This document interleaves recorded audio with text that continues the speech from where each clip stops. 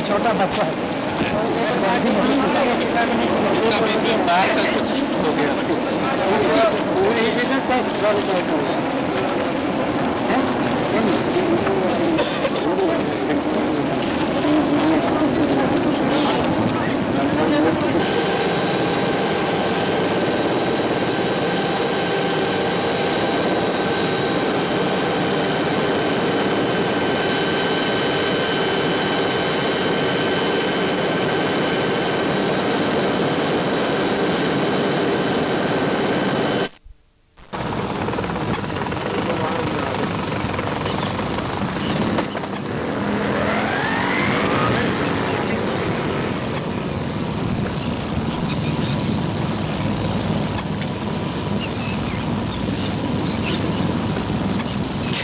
क्या दे रहा है पूरा लेने का से